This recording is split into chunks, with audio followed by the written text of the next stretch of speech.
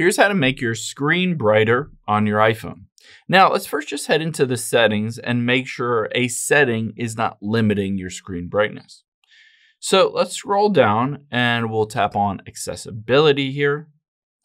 And then scroll down a little bit and you can see display and text size. Let's tap on that. Now, at the very bottom, you can see is auto brightness. It says turn off auto brightness if it may affect your battery life. However, by turning this off, it will allow you to basically increase the brightness of your screen as much as you want. Now, after we've done that, we're going to take our finger from the top right and swipe down, and you should be able to see that little sun icon. Now, this is your brightness. I can tap and hold on it, and you can see I have true tone turned on. I can turn that off depending on whether you want a more yellow color or a more blue color to your iPhone screen. And then from here, just take your finger and swipe it all the way up.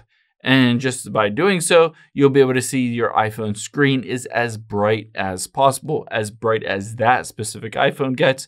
And that auto brightness turned off means that it will not automatically dim. I hope this helps. If it did, hit the subscribe button down below. Really helps me out. Thanks, guys.